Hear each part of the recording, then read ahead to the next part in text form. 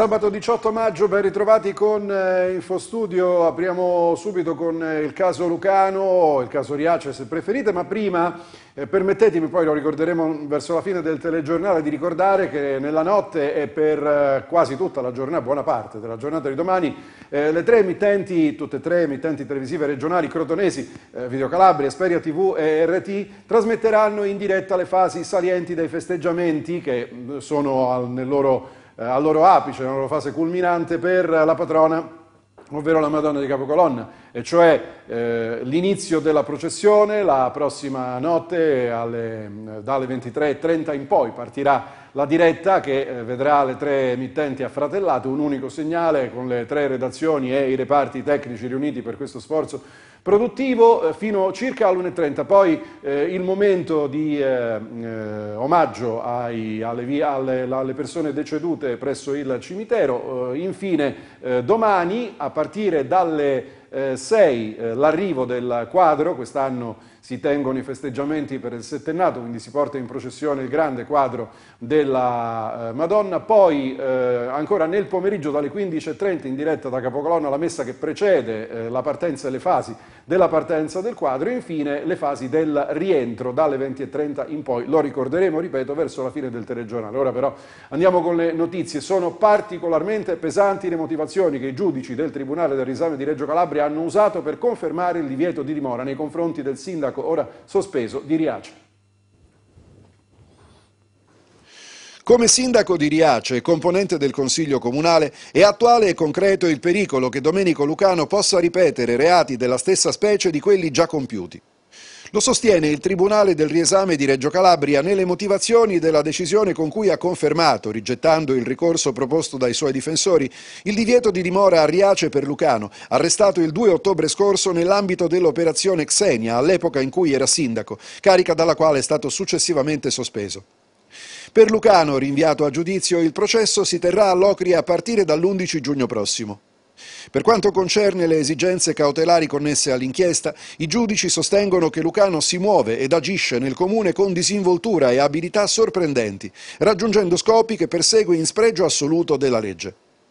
Lo ha fatto, si legge nelle motivazioni della decisione, allorquando ha deciso a tutti i costi di ottenere l'affidamento diretto del servizio pubblico di raccolta dei rifiuti per due cooperative del tutto non legittimate, seguendo passo per passo il loro percorso di finta legittimazione ed impegnandosi in prima persona per costruire una vera e propria tela di ragno, tanto da trarre in inganno funzionari, tecnici ed organi collegiali dell'ente pubblico.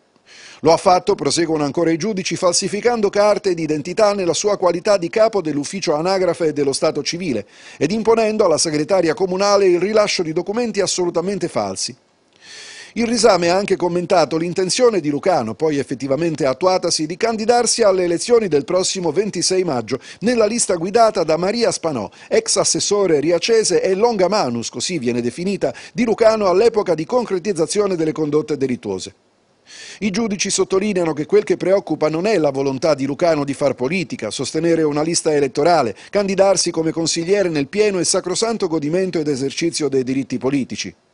Quello che preoccupa è che Lucano aveva assunto la veste di vero e proprio dominatore all'interno del comune, muovendo le fila di tutto e consumando condotte illecite, forte della sua funzione e del suo ruolo da lui intesi in modo distorto, nella convinzione assoluta di potersi porre sopra la legge e di poterla violare impunemente, circondandosi di persone supine ai suoi comandi ed ai suoi dettami ed eliminando immediatamente chi non gli obbediva. Ancora problemi giudiziari per il sindaco di Cosenza Mario Chiuto ed effettivamente la concatenazione diciamo così, di, di, di, fatti e dunque di problemi, eh, come ho già detto che eh, si stanno succedendo, è alquanto singolare, ma comunque eh, Occhiuto ha ricevuto dalla Procura di Cosenza due avvisi di garanzia, in uno di, dei due viene ipotizzato a suo carico il reato di diffamazione sulla base di una denuncia presentata nei mesi scorsi dal Presidente della Commissione parlamentare antimafia Nicola Morra. Al momento non si conosce eh, lo spunto da cui è scaturita la denuncia di Morra che ha portato all'emissione dell'informazione di garanzia. Nell'altro si ipotizza il reato di abuso d'ufficio in relazione alla realizzazione di un soppalco in un fast food del centro di Cosenza. E in relazione a quest'ultima indagine Occhiuto è già stato interrogato dalla Guardia di Finanza che la Procura aveva delegato per svolgere le indagini di polizia giudiziaria. In questo modo la reazione del sindaco di Cosenza dettata alle agenzie è veramente difficile fare l'amministratore perché ci sono quelli che intendono la politica quasi come fosse una lotta mafiosa e denunciano e complottano ai danni degli avversari con l'intento di farli fuori. Nonostante il dispiacere e l'amarezza di subire ogni giorno comportamenti scorretti, dice chiudo, continuerò a lavorare come ho sempre fatto e della situazione amministrativa della nostra regione, ovvero anche della spesa dei fondi comunitari, eh, ci parla la europarlamentare uscente ma ricandidata del Movimento 5 Stelle Laura Ferrara al microfono di Massimo Tigani. Fra l'altro la Ferrara ha presentato, proprio lei ha presentato da europarlamentare due interrogazioni sullo stato della spesa, sul raggiungimento del target. Sappiamo che la Calabria ha speso nel 2018 446 milioni di euro, ovvero 23 in più di quelli che avrebbe dovuto spendere, però mh, su questo eh, diciamo, c'è ancora l'occhio vigile, anzi siamo diciamolo pure sotto stretta osservazione, l'autorità di gestione se ne sta eh, occupando e la Ferrara stessa, eh, ho già detto, aveva presentato due interrogazioni, in particolare dopo eh, che eh, l'inchiesta Lande Desolate aveva portato all'impeachment anche per il presidente della regione, Oliveri.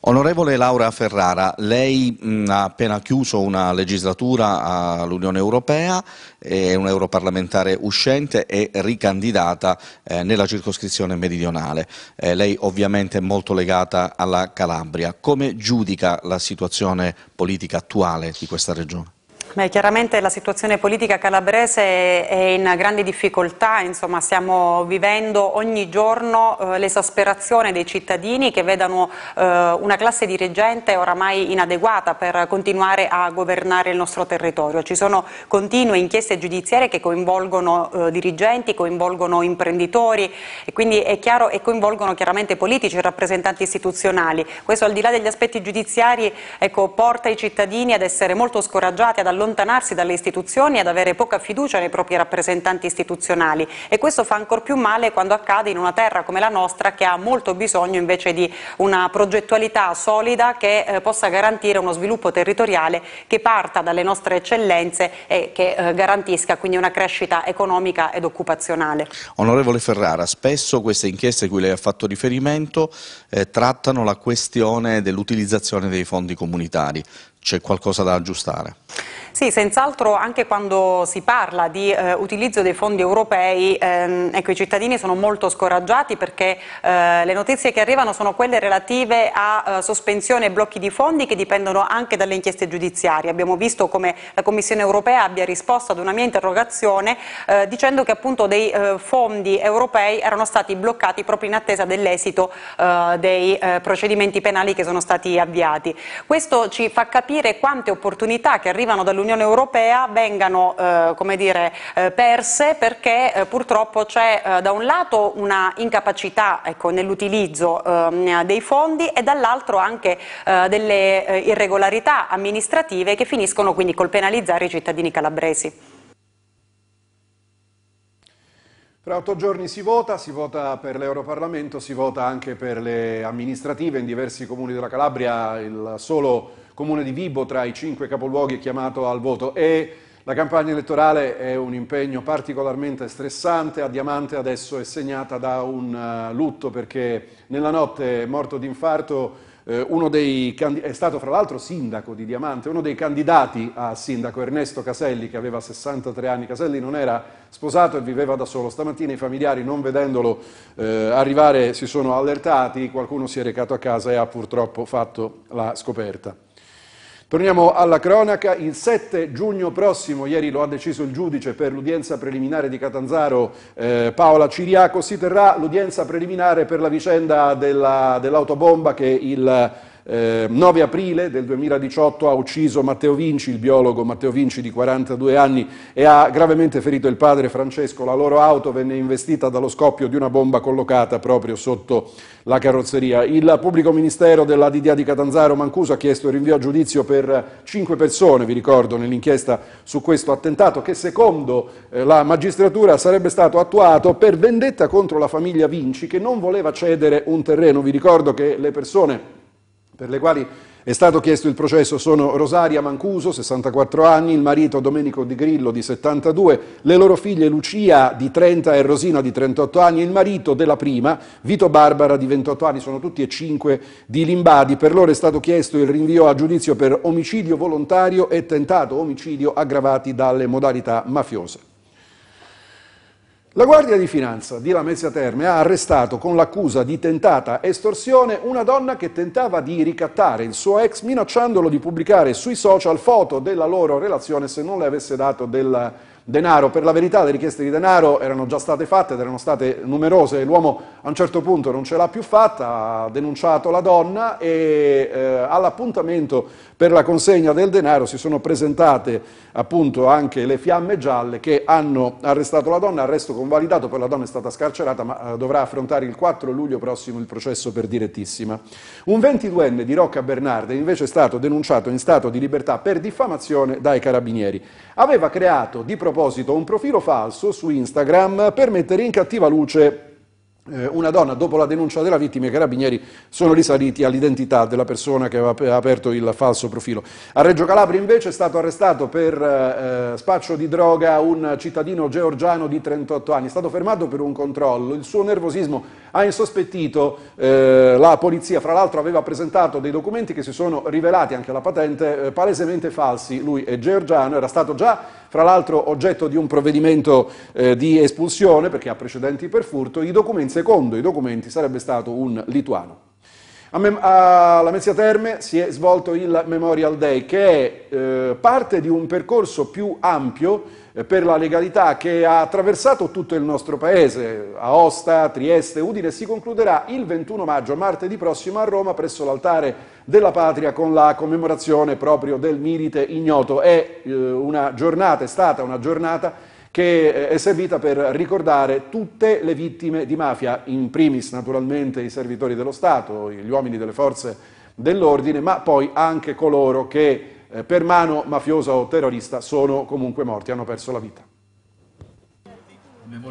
La Mezzia Terme, teatro di uno dei delitti più gravi mai commessi in Calabria nei confronti di un servitore dello Stato, ovvero l'omicidio il 4 gennaio 1992 del sovrintendente di polizia Salvatore Aversa e della moglie Lucia Precenzano, nel giorno in cui si fa memoria della strage di Capaci, è stata sede della tappa del Memorial Day, l'iniziativa con la quale il Sindacato Autonomo di Polizia, SAP, rende omaggio agli uomini e le donne delle forze dell'ordine caduti in servizio ed a tutte le vittime della criminalità organizzata.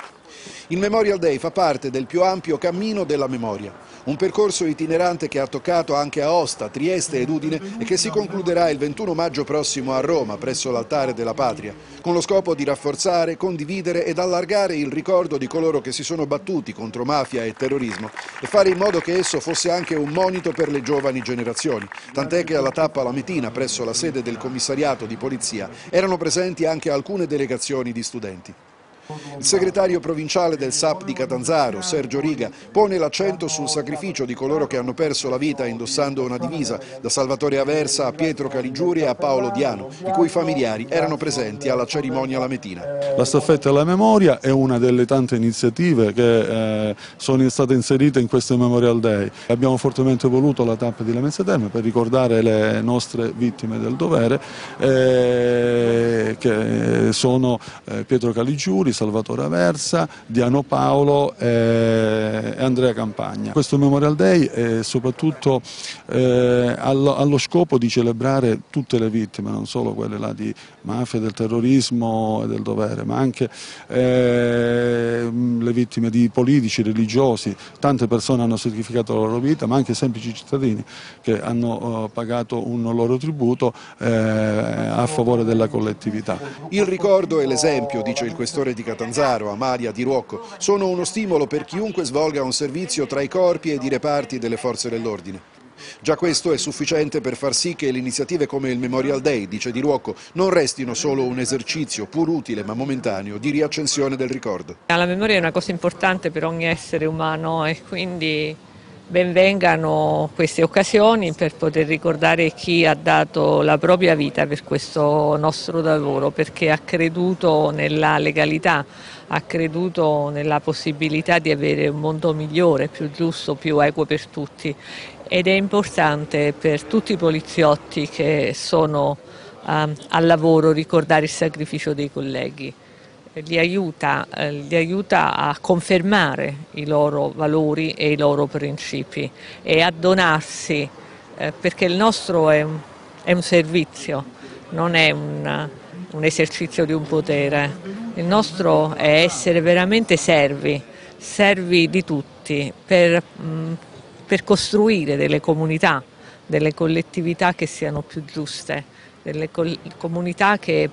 ehm, siano volte al bene, alla crescita personale, sociale, economica. Ehm, anche i cittadini semplici, deve essere per noi. E dunque, come ho già fatto in apertura, tanto più, anzi, in chiusura vi ricordo che eh, da questa sera, questa notte anzi, Andremo in onda contemporaneamente su Video Calabria, Esperia TV e RT vedrete gli stessi contenuti per eh, il momento culminante delle celebrazioni della festa della Madonna di Capocolonna. Dalle 23.30 in Piazza Duomo, il primo collegamento che andrà avanti fino all'1.30 eh, circa, poi eh, collegamento dal cimitero di Crotone prima che inizi la salita verso l'Irto di Capocolonna, domattina dalle 5.30 in poi per l'arrivo in diretta del quadro, nel pomeriggio nuova diretta per la messa e la partenza, la ripartenza verso Crotone dell'icona e la sera dalle 20.30 in poi fuochi d'artificio le fasi del rientro, della processione di rientro verso la Basilica Cattedrale. Questo è lo spot riassuntivo della eh, diretta della lunga maratona che eh, vedrà queste tre emittenti eh, insieme e protagoniste per eh, poco meno, davvero poco meno di 24 ore. Un evento televisivo unico nel quinto centenario del ritrovamento della sacra effigie della Madonna di Capocolonna e in onore delle solenni feste settennali, RTI, Video Calabria e Esperia TV seguiranno in diretta i momenti religiosi salienti legati alla fede mariana. Uno sforzo produttivo per portare nelle case di tutti i calabresi immagini e parole di fede. Sabato 18 maggio, dalle 23.30, inizio del pellegrinaggio mariano. Domenica 19 maggio alle 6 del mattino, solenne liturgia eucaristica dal santuario di Capocolonna. Alle 17, pellegrinaggio di rientro della Sacra Effigie verso Crotone. Dalle 21, accoglienza del quadro e processione fino alla Basilica Cattedrale. Tutto in diretta, tutto nelle case dei calabresi su RTI, Video Calabria e Speria TV e in streaming in tutto il mondo. Un segnale di unione in nome della Vergine Maria in una regione ricca di risorse ma troppo povera di contenuti. Quindi eh, sulle tre emittenti, sul digitale, 12 RT, 13 Video Calabria, 18 Esperi, poi avete visto, anche perché poi è facile ricordarli, hanno tutte e tre eh, il punto TV come eh, terminale, eh, sui, sui tre canali eh, del, sul web dei, delle emittenti potrete seguire la diretta, farla seguire anche dai vostri parenti ovunque essi risiedano. c'è una piccola specificazione, l'appuntamento pomeridiano era scritto sullo spot a partire dalle 17, in realtà è dalle 15.30, alle 17 poi inizia la processione di rientro, in realtà, ripeto, si parte un'ora e mezza prima per seguire anche la messa che precede l'inizio del rientro del quadro. Per questa edizione è tutto, io vi ringrazio per averci seguito e vi ricordo che per restare aggiornati c'è sempre il sito www.tgcal24.it.